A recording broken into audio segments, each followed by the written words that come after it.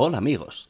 In today's tutorial, I'll explain how to achieve this edge detection effect using a post-process shader. Although we had a quick look at a simpler version of this same effect in a previous video, there were a couple requests to go into this in more detail, so thanks to James Morford and the rest of you who post comments below, that's the best way to let me know what you want to see next. The shader is quite configurable, but has some limitations. The way we detect the edges breaks a little bit on objects with sharp edges when the thickness of the lines is set to too high, but under most conditions it looks pretty clean and it's not too expensive on the GPU. I also added optional line color based on the custom depth stencil buffer, which can be used to highlight objects in your project. To make it work, you will have to enable this buffer, which can be done from the project settings window search for stencil or custom depth and set the custom depth stencil path to enable with stencil. This allows us to write a custom value from 0 to 255 on any mesh, which can be used later in our shader. Before we move on to the graph, let me explain how the edge detection algorithm works. This is a convolution kernel. A kernel or convolution matrix is a set of values that, when applied to an image in a certain way, called convolution, can be used for many visual effects, such as blurring, sharpening, edge detection, and many more. Here's how it works. For every pixel in our image, we're going to put this matrix center on it, and then multiply the value of each pixel for the number in the matrix, and finally adding all together. We'll see better with an example. In this image, black is a value of 0 and white is 1. If we want to detect an edge on this pixel, we need to multiply its value and all the adjacent pixels by the numbers in the matrix. If we do that and add the total together, we have a result of 0, meaning no edge. However, if we repeat the same operation on this pixel, the final result is 1, representing an edge. This particular kernel is called a Laplacian, and since it only needs 5 sample values, including the center, it's relatively cheap, but has some problems with sharp corners. We can modify it to include the diagonals, as you can see in the Photoshop custom filter, but for this example, we'll stay with the simpler version.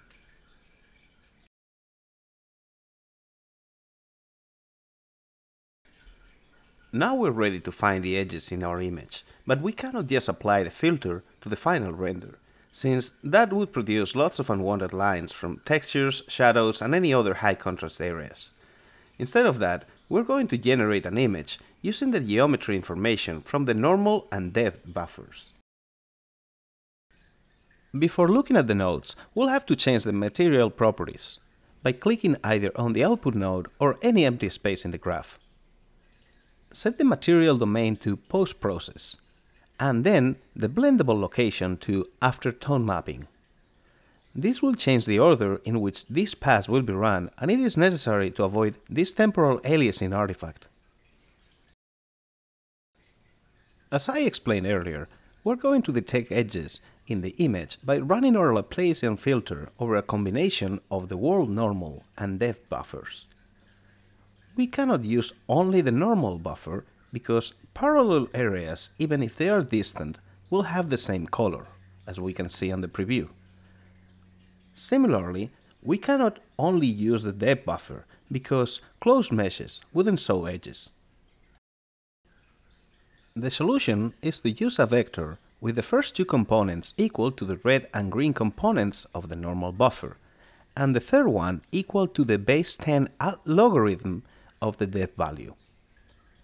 We're using the logarithm here because it will start small, giving us more depth detail on close objects. Let me connect this new vector to the output for a moment, so we can see this effect in the actual scene. Now we have an image with very nice separation of meshes by color. It might be hard to appreciate them in the video, but the filter can definitely see those subtle color differences from the depth component, and that will be enough to find some of the otherwise more tricky edges.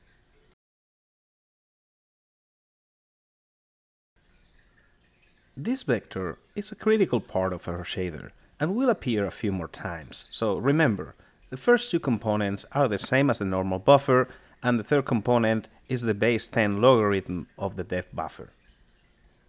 Going back to our Laplacian filter explanation, this would represent the center pixel. Next, we need to sample these values again, but on the adjacent pixels to it. In this first section of the graph, we're going to calculate the UV offsets as follows. First, we'll multiply the base coordinate offsets 1, 0, minus 1, 0, 0, 1, and 0, minus 1 by the inverse of the texture size to correct the scale, and then multiply each of those by a new constant parameter that we can use to increase the thickness of the lines to a certain extent.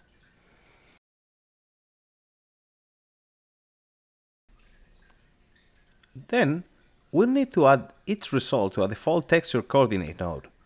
This will be used on the UV input on the following samplers. Now we need to repeat the same operations that we did before, the base 10 logarithm of the depth buffer component and the red and green components of the normal buffer, combined into a single vector. But this time, use the UV offsets that we calculated before for each one of the four copies of each sampler node. The final step of the filter is to add all the offset vectors together and then subtract the result from the center value, multiplied by 4. If we output this node, we can see a pretty good edge detection effect already. However, it still has a couple of issues. First, the colors are still those from our sample target, and second, we can add a few more parameters to allow more fine-tuning of the effect.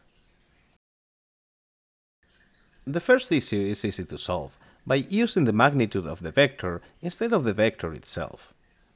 As for parameters, the first one I will add is a factor to bump or reduce the fainter lines and control the sensitivity of the filter. This is done easily by comparing it with the vector length using a step node. Although here it might look like it just made the lines thicker, if we zoom in the preview, we can see that it's just more of the fine normal details on the sphere showing up. After using a 1 minus node to invert the result, I'll add the next custom parameter, which is going to make the effect fade over distance. This can be a nice way to reduce line clutter and produce a cleaner final image. Here's how it works. First, we need to divide the depth, the base value, by this parameter. Then, divide the result of the 1 minus by this. Now our edges disappear after that distance, allowing us to remove the edges from the background elements.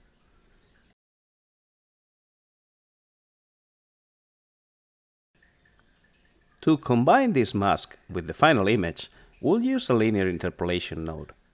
In the first input, the RGB mask of the post-process input 0 is scene texture.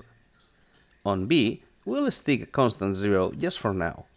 And finally, use the line mask as the alpha. This looks great. The lines are clean and crisp, the distant fade gives it a very nice soft look, and there are almost no edges missing. We can still add a little more functionality to it though. The first and simplest thing is to replace the constant zero from earlier with a vector parameter to allow control of the color. And I'm not doing it here, but you could use the alpha value of this parameter to control the global opacity of the filter as well. The next and final bit is entirely optional, since you might not need it or you might be achieving the same effect in a different pass. It will allow us to have up to 255 IDs that we can assign to meshes to give them different edge line colors.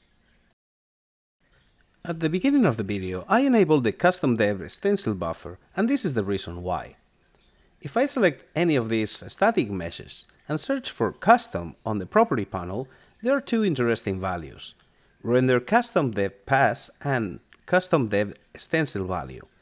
I have it enabled it for both of them and set their IDs to 1 and 2 respectively. We can see these IDs if we toggle on the custom stencil buffer visualization on the view mode menu. Before we move on, I want to show something important to know. The stencil buffer is not occluded. That is why we can still see the ID numbers even when these objects are behind the wall. While this can be useful for other effects, I don't want the stencil lines to appear in front of other lines when they should not. We can solve this using the custom depth stencil buffer, which renders the depth buffer only for those objects with the property turned on. If we subtract the scene depth from the custom depth and then remove all the negative values, what we have remaining is an inverted mask of the properly occluded stencil buffer, which we can correct with a 1 minus node. Outputting this value on our scene we can see that now the two objects with the custom depth pass enabled are properly rendered behind other geometry.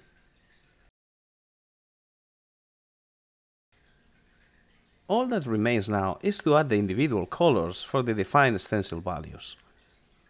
We'll start by sampling the custom stencil buffer with a scene texture node, masking the red component, and then dividing by 255 to convert the number into a 0 to 1 range.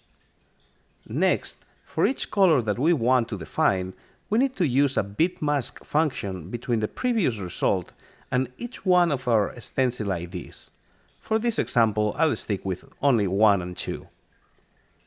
Now, we just need to multiply these masks by colors, and then multiply them again by the depth mask. Finally, mix it with the original line color. A better way to combine these colors is using another linear interpolation instead of adding them together. But if your baseline color is black, this way is slightly more efficient and it doesn't make a difference.